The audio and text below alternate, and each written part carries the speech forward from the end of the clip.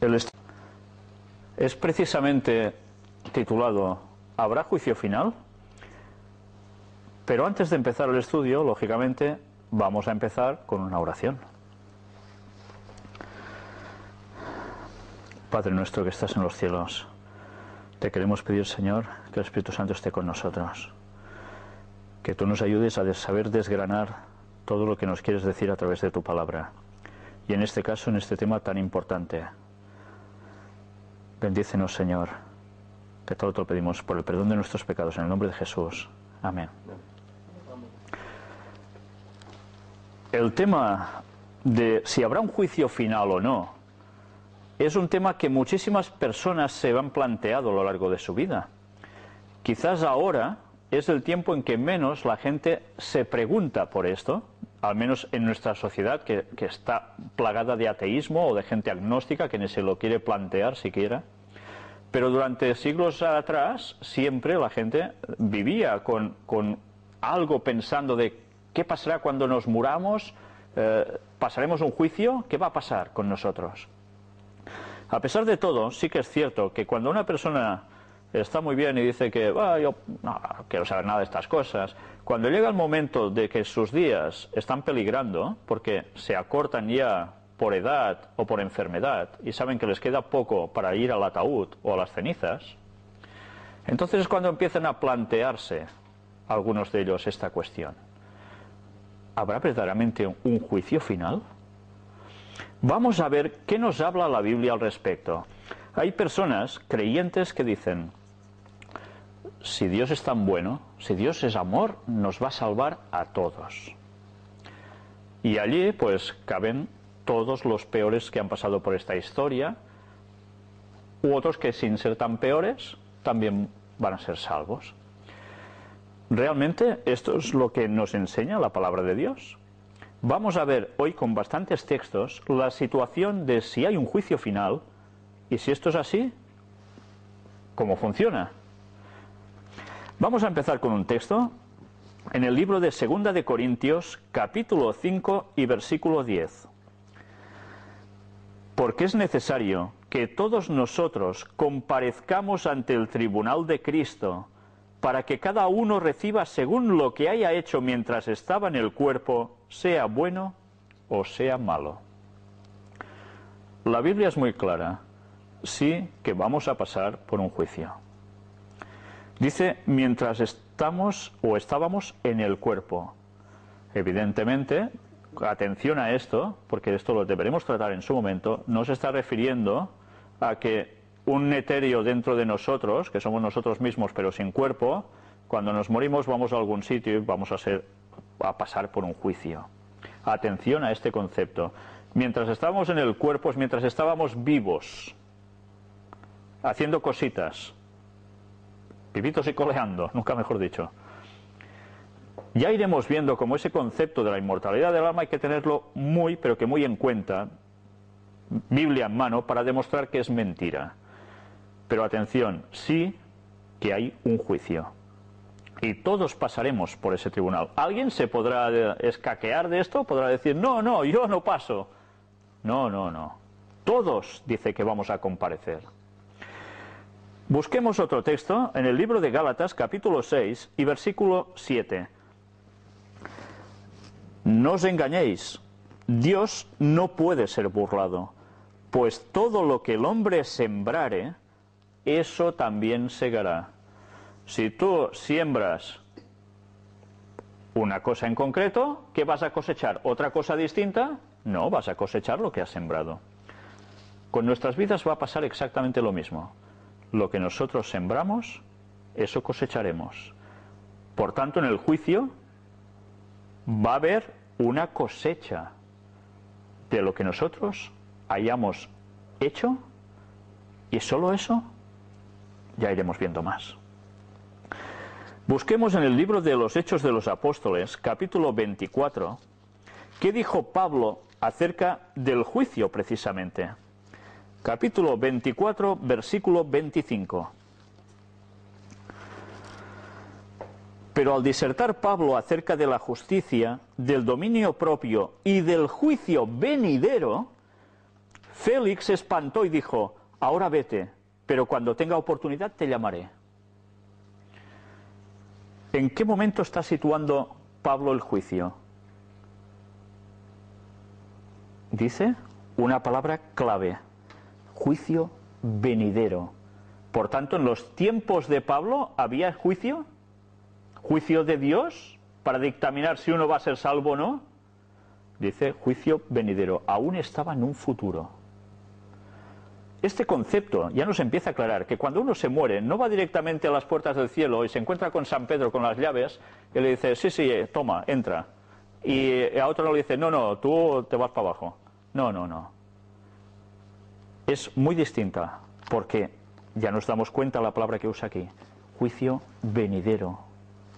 A tal punto que Félix se asustó y ya te llamaré cuando tenga oportunidad de aquí un tiempo. ¿eh?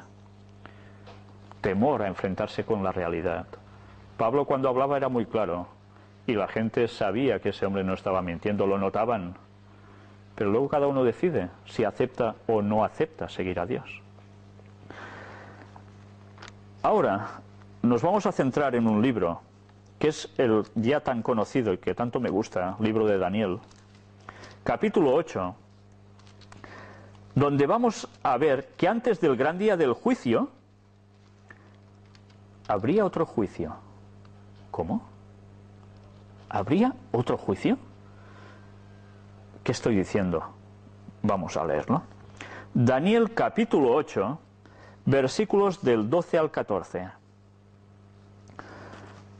y a causa de la prevaricación, de la rebelión, le fue entregado el ejército junto con el continuo sacrificio, se añadió, y echó por tierra la verdad e hizo cuanto quiso y prosperó. Está hablando de un cierto poder. ¿eh? Entonces oía un santo que hablaba, y otro de los santos preguntó a aquel que hablaba, ¿hasta cuándo durará la visión del continuo sacrificio? Que se añadió, y la prevaricación asoladora entregando el santuario y el ejército para ser pisoteados.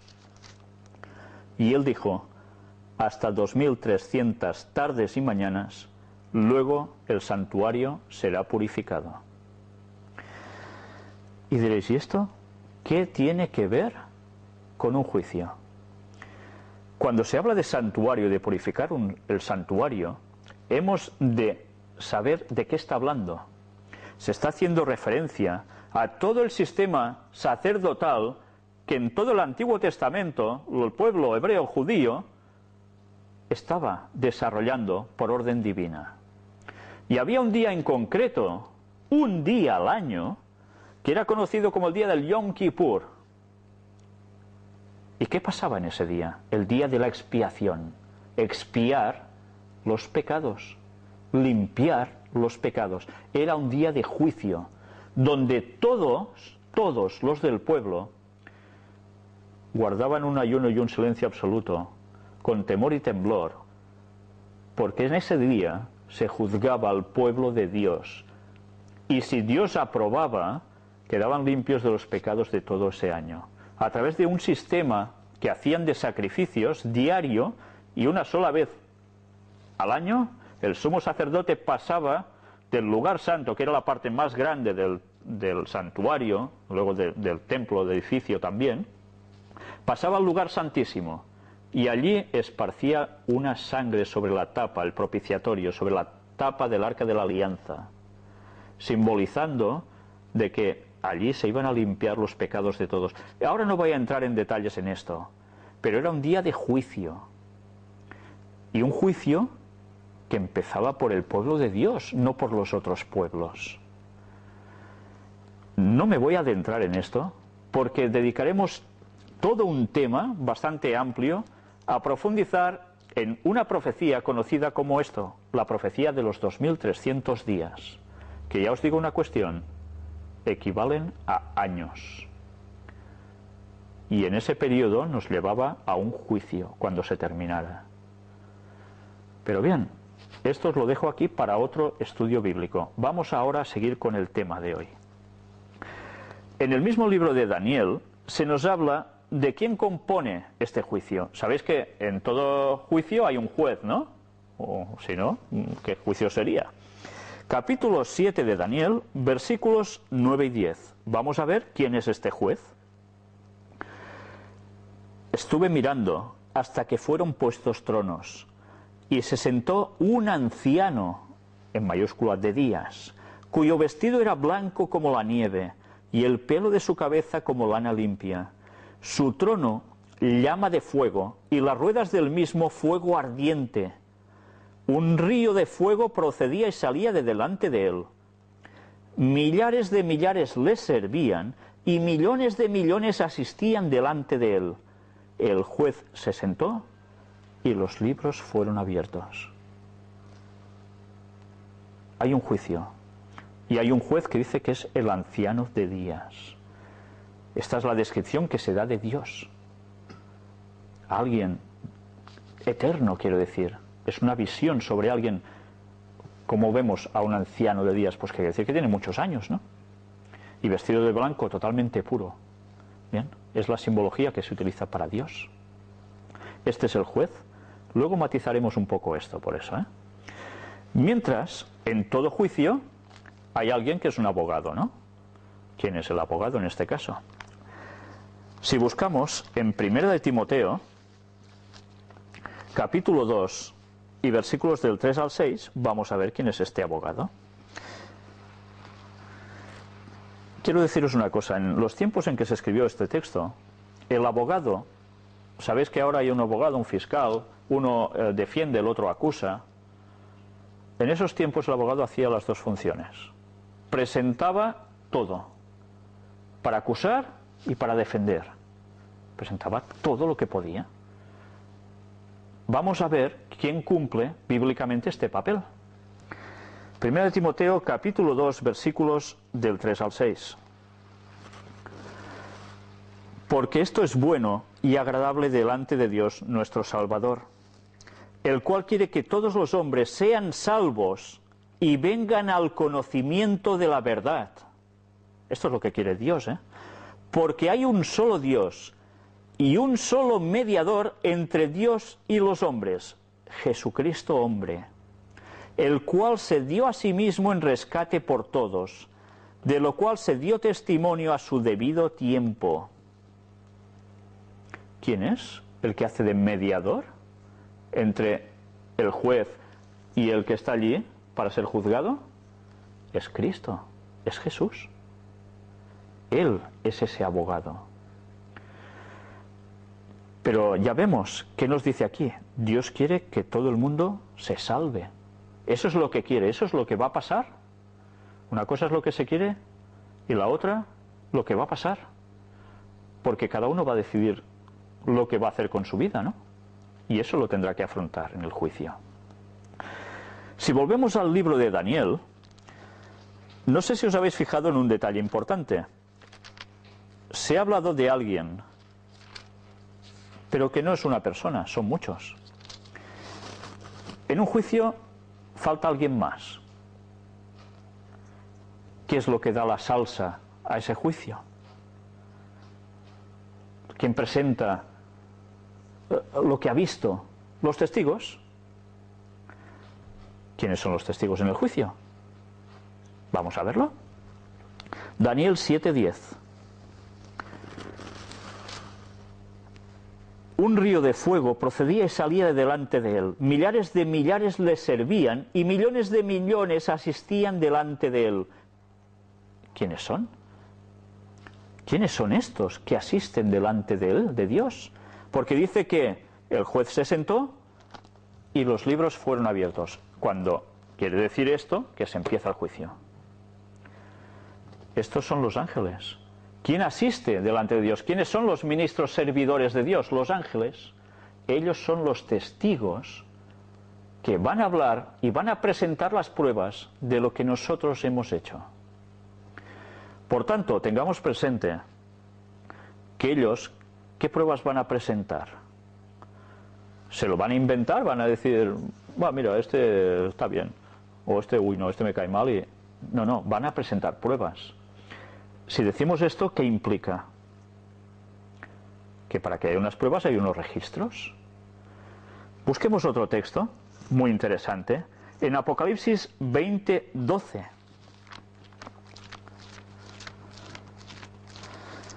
Y vamos a ver si no es interesante esto. Y vi a los muertos, grandes y pequeños, de pie ante Dios. Y los libros fueron abiertos. Y otro libro fue abierto, el cual es el libro de la vida. Y fueron juzgados los muertos por las cosas que estaban escritas en los libros según sus obras. ¿Dónde estaban escritas o registradas las cosas de cada persona? En los libros. Claro, en ese tiempo, para hablar de algún registro, solo había eh, algo para apuntar, ¿no? Para escribir. Eran libros. Evidentemente ahora empezamos a ver con las cámaras que hay filmaciones, ¿no? Pero yo no sé qué sistema está utilizando el ángel que está a mi lado grabándome a mí todo el día y la noche, al igual que a vosotros pero sé que de algún modo registra todo lo que yo hago. Pero no solo lo que yo hago, vamos a ver contextos también, que es lo que yo digo y lo que yo pienso. Esto no lo hace una cámara digital 3D ni lo que queráis, no. Pero en el registro de los ángeles, yo no sé qué sistema utilizan, pero lo hacen. Y con eso nosotros vamos a ser juzgados. ¿Cuántas cosas dejaríamos de hacer o de pensar si fuésemos conscientes que algún día tendremos que afrontar lo que en nosotros ha circulado o hemos dicho si hemos de estar en presencia de Dios? ¿Qué cosas dejaríamos de hacer? ¿Cuántas cosas cambiaríamos? ¿Somos conscientes de eso? Ojalá tuviésemos eso más presente todos, ojalá. Ahora leamos en otro libro, también del Nuevo Testamento, el libro de Santiago, capítulo 2, porque hemos visto quién interviene en el juicio, pero en todo juicio, para que haya un juicio, ¿qué tenía que haber? Una ley, ¿no? Si no hay ley, ¿qué juicio va a haber? ¿En base a qué se te va a juzgar? Entonces, ahora leeremos este texto, Santiago 2, del 10 al 12 porque cualquiera que guardare toda la ley, pero ofendiere en un punto, se hace culpable de todos. Porque él dijo, perdón, porque el que dijo, no cometerás adulterio, también ha dicho, no matarás. Ahora bien, si no cometes adulterio, pero matas, ya te has hecho transgresor de la ley. ¿Por qué? Porque la ley es un bloque, son diez elementos distintos, pero es un bloque. Si transgredes uno, estás transgrediendo la ley sea el que sea.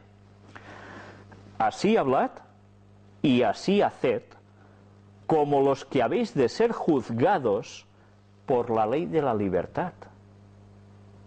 Hemos de ser juzgados por la ley de la libertad. Y hemos visto cuál es esta ley. La ley de la libertad son los diez mandamientos. Y alguien dirá, ¿cómo puede ser? Ley de la libertad, pero si me dicen, no harás esto, no harás lo otro. Porque esa es la verdadera libertad porque si hacemos lo contrario, somos esclavos del pecado y dejamos de ser libres para con Dios. Por eso es la ley de la libertad. Y ahora me pregunto, ¿y las personas que dicen de que no hace falta guardar la ley? ¿Para qué guardar el sábado?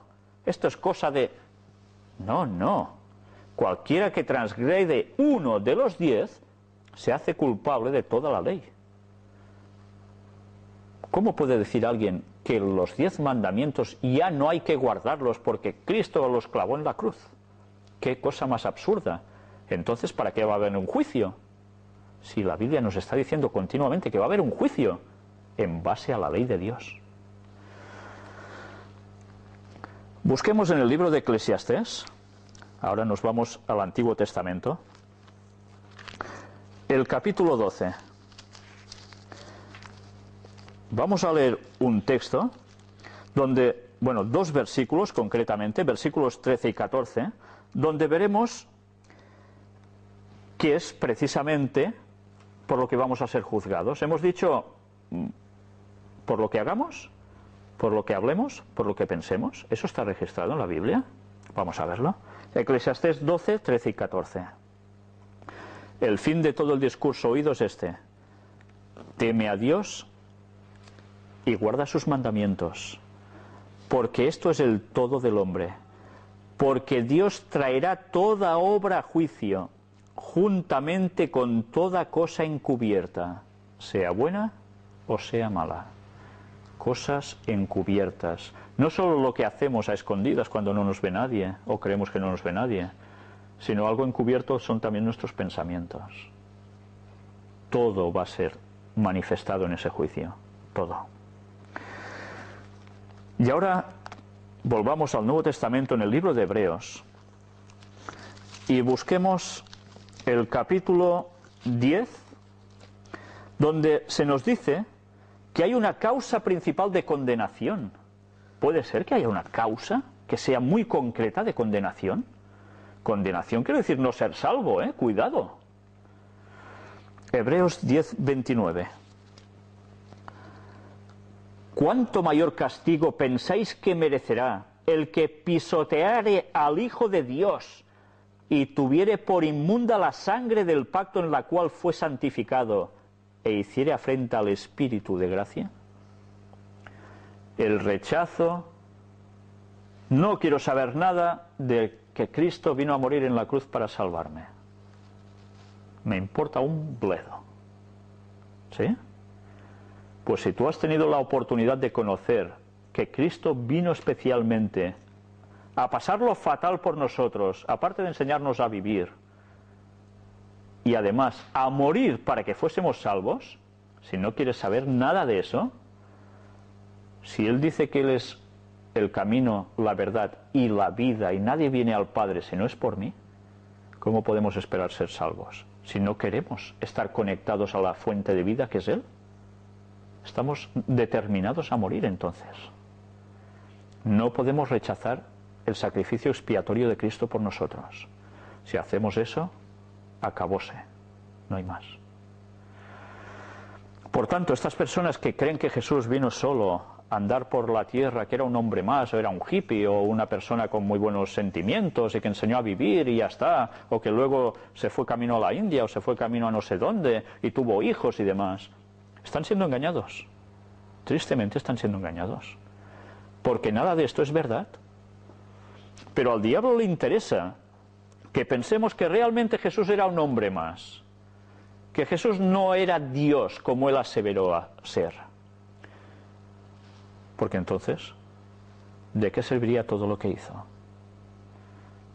Si nosotros no aceptamos que Cristo murió en la cruz y Cristo resucitó y se fue y volverá y nosotros vamos a pasar por un juicio,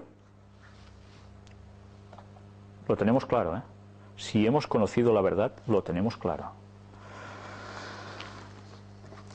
Vamos ahora a buscar un texto en Apocalipsis, un libro que a mucha gente le hace temor solo leer, uy, Apocalipsis, esto, wow, tiene que ser... Apocalipsis quiere decir revelación. O sea, que es revelar algo que iba a acontecer. Vamos a ver qué interesante es lo que nos dice el capítulo 22, cuando nos dice que, claro, en todo juicio, ah, ¿qué pasa? Hay una sentencia, golpe de martillo y se decreta algo, ¿no?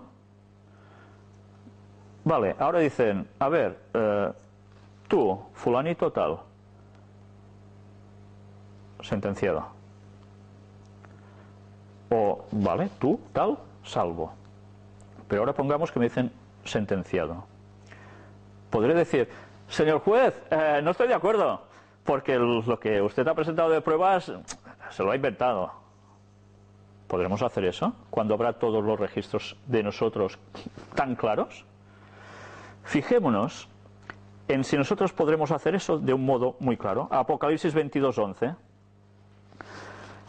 El que es injusto, sea injusto todavía y el que es inmundo sea inmundo todavía, y el que es justo practique la justicia todavía, y el que es santo, santifíquese todavía. Ya no hay posibilidad de cambio. Lo determinado, determinado está. Es más, os diré que este texto pasa en un momento muy concreto.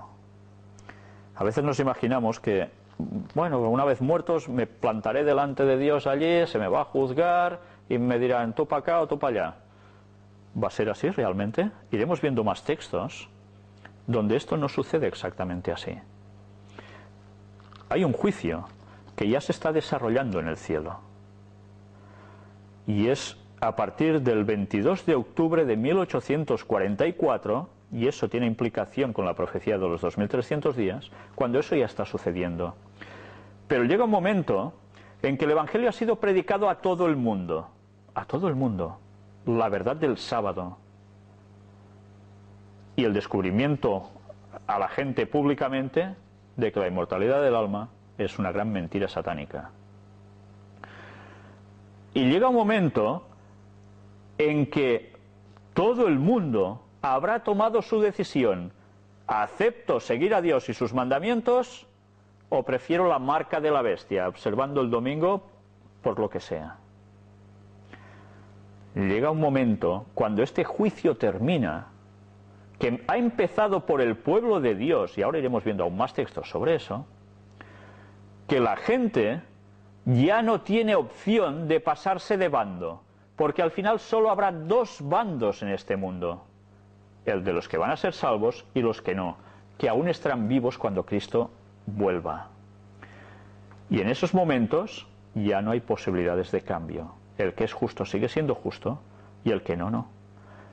Y atención, porque esos que estén vivos, esperando el retorno de Cristo, lo van a pasar muy mal, porque estarán siendo perseguidos a muerte, porque el decreto que va a surgir del papado y del falso Mesías, o sea, Satanás haciéndose pasar por Jesús, que habrá venido a la tierra, que habrá convencido a todo el mundo de que habrá mil años de paz, y todo eso se va a ir al traste en un momento, él va a decretar la pena de muerte sobre los observadores del sábado y va a haber la peor persecución religiosa de la historia. Y en esos momentos, los que estén siendo perseguidos a muerte serán liberados por el pueblo de Dios, no sufrirán daño alguno y van a ser sustentados por Dios. Y esos son los que van a ser los 144.000 sellados, los que estando vivos esperen el retorno de Cristo y lo vean volver. Helen White decía, procurad ser de los 144.000. Y ya podemos procurarlo, porque esto se está acercando.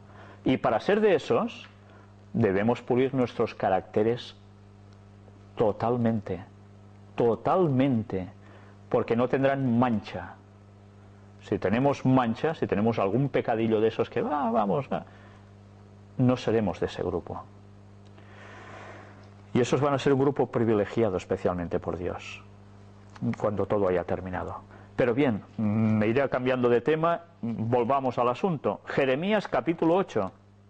Si no podemos quejarnos del resultado porque va a ser obvio, porque ha habido evidencias muy claras, testimoniales, vamos a ver precisamente la gente que no va a ser salva, ¿cuál va a ser su reacción? En el libro de Jeremías se nos dice ese tipo de reacción. Capítulo 8 y versículo 20. Pasó la siega, terminó el verano y nosotros no hemos sido salvos. Esto es una lamentación. No tiene nada de alegría, ¿verdad? Porque la persona cuando se dé cuenta de que se pierde la eternidad, sin maldad alguna, sin muerte, sin nada de malo, absolutamente nada, sino todo lo mejor y más, al lado de Dios, es para tirarse de los pelos, ¿verdad?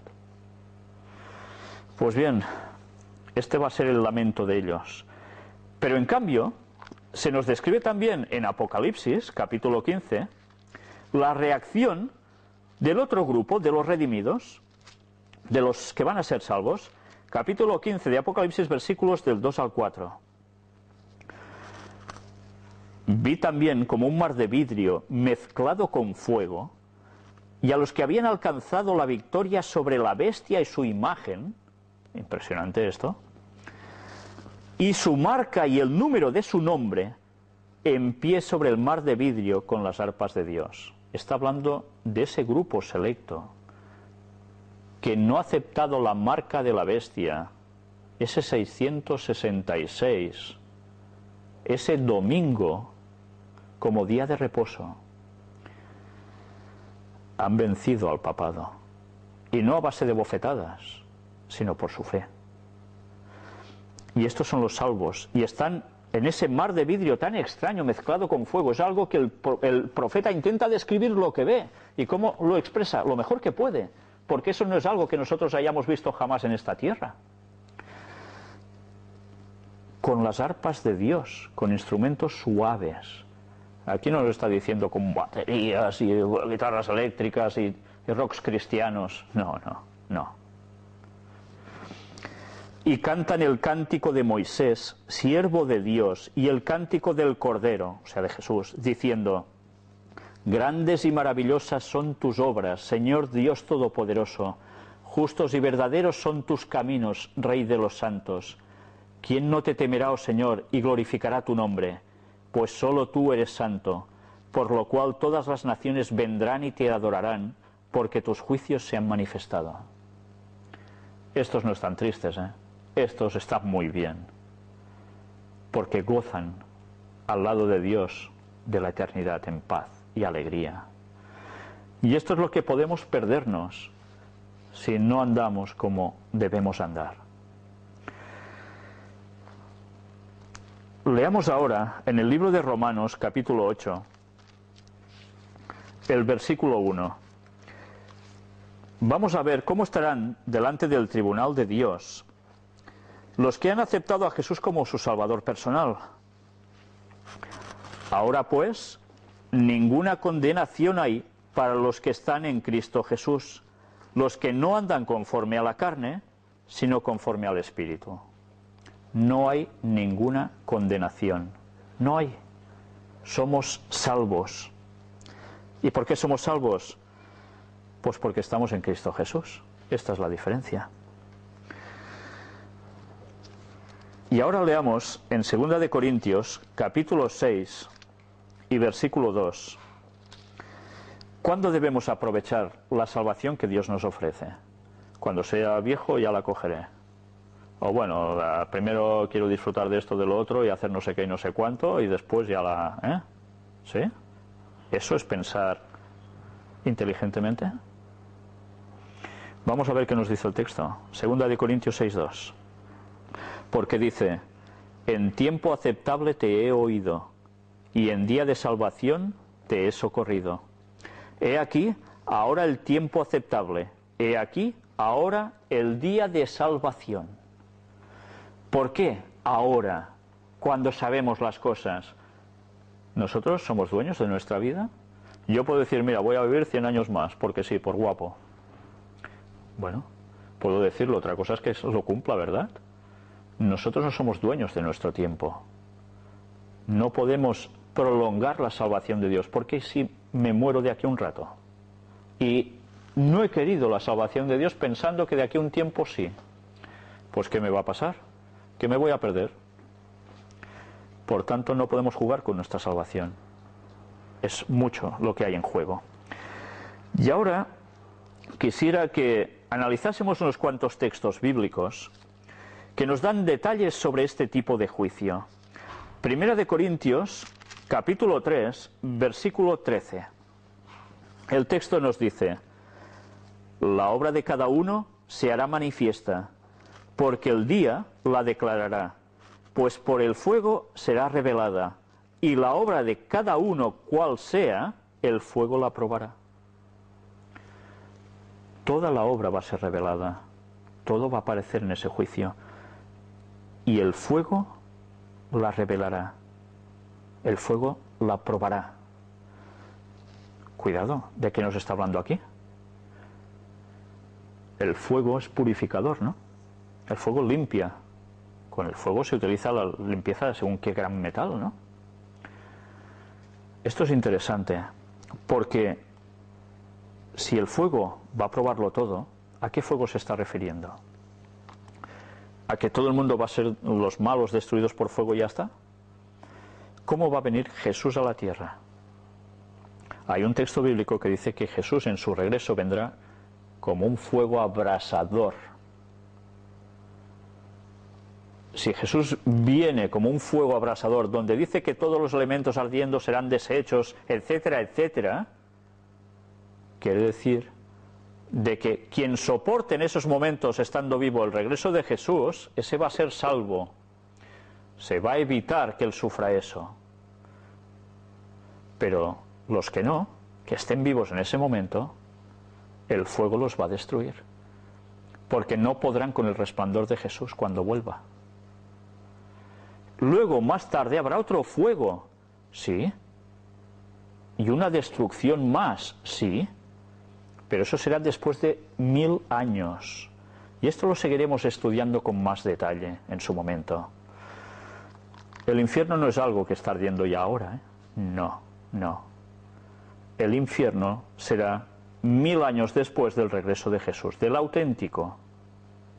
Y allí se va a pagar a cada uno para siempre, definitivamente con sus obras. Y ese fuego no va a ser eterno. Oh, hay textos que dicen, sí, leámoslos bien porque dicen que los resultados van a ser eternos de ese fuego, no que el fuego esté quemando siempre, con la tortura que eso implicaría. Haber vivido algunos 20 años, otros 80, vale, unos muy poco malos, otros mucho más malos, al final ninguno de estos salvos, y por ese periodo de pocos años van a pagar la eternidad, que no nos podemos ni imaginar mentalmente esa cantidad de tiempo sufriendo como quién sabe qué si ese Dios es amor, vaya pena de Dios. ¿eh? Ese es un concepto católico que algunas religiones, también teóricamente cristianas, han cogido como suyo. Pero eso es una mala interpretación de los textos bíblicos. Ya estudiaremos a fondo todo esto en su momento también. Otro texto más. Hebreos capítulo 10, versículo 30.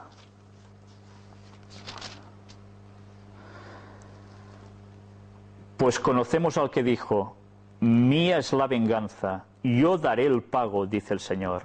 Y otra vez, el Señor juzgará a su pueblo. Atención a esto, el Señor juzgará a su pueblo.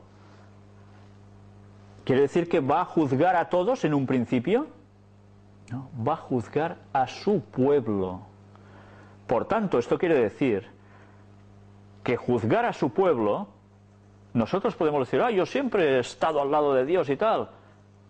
Pero cuidado, porque de los registros del cielo nuestro nombre puede ser quitado de ese libro de la vida que nos hablaba Daniel. No quiere decir que, mira, porque ya he hecho el bautismo y he seguido a Cristo, ya estoy salvo descaradamente. No, porque me puedo apartar.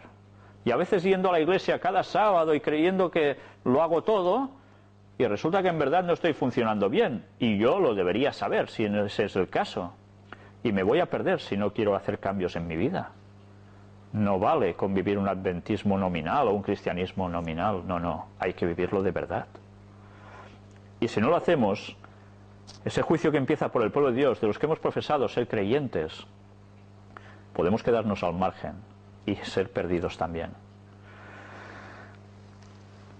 Busquemos también otro texto más. En Mateo capítulo 16 y versículo 27.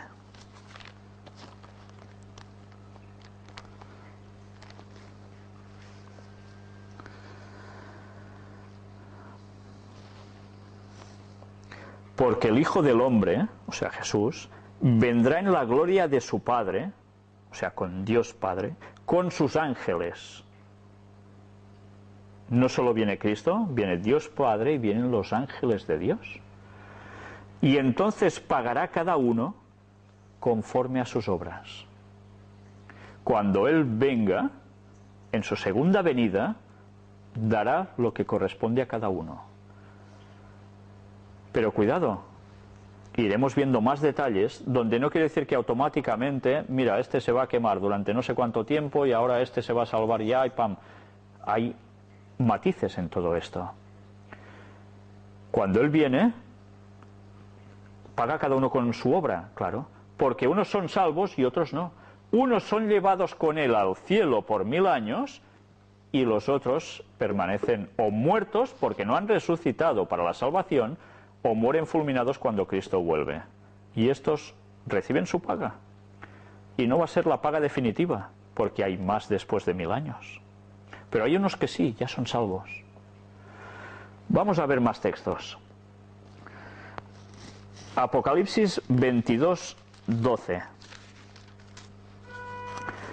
He aquí yo vengo pronto, y mi galardón conmigo, para recompensar a cada uno según sea su obra.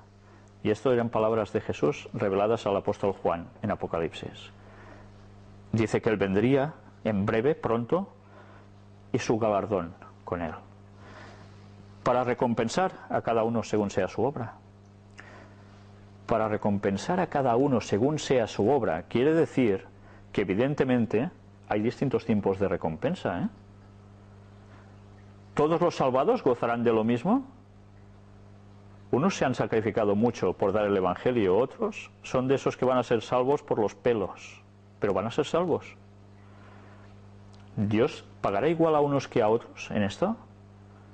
Ya lo iremos viendo también todo esto.